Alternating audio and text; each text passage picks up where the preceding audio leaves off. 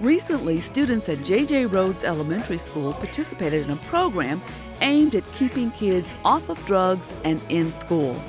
Operation Crackdown is a joint effort between the Dallas Police Department and the Texas National Guard. At an assembly that morning, the students received important lessons on being successful adults. But your opportunity for success starts right here, right now. Don't do something here today that's going to jeopardize your opportunity to be successful tomorrow. Later in the day, the students were bused to a former drug house in the neighborhood that was scheduled to be demolished.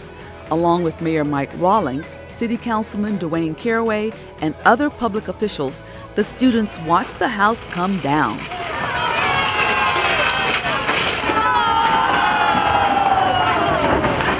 It only took a few minutes to reduce the house to a pile of scrap, but hopefully the students will remember the lessons of the day for a lifetime.